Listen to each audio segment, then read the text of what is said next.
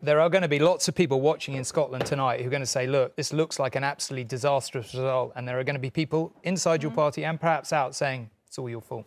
I, uh, absolutely, I don't doubt that at all. Uh, you know, this is a, at the grimmer end of expectations for the SNP if the exit poll is right. And given what I said earlier on, I suspect it will be broadly right. I'll come back to that in a minute. I think, first of all, this is seismic for Labour, and uh, there's no getting away from that. A massive achievement for Keir Starmer.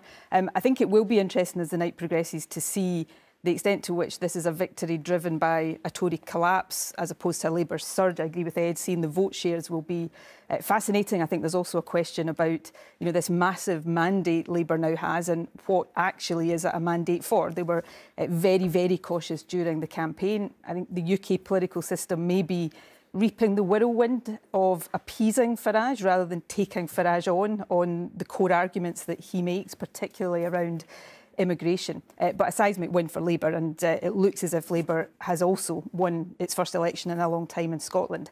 Uh, look, yes, uh, there are uh, clearly big issues in a result of this scale for the SNP. The SNP has been in government for 17 years. Uh, we're in government now at a time when austerity is really biting. The impact of Brexit is biting. Of course, uh, there were always going to be real challenges in this election. Uh, but it's also about the context of the election. You know, this was a kick the Tories, get the Tories out. Um, and that always happened to the SNP pre the independence referendum. And I think we're reverting to that tonight. But, you know, this is not a good night for the SNP on these numbers.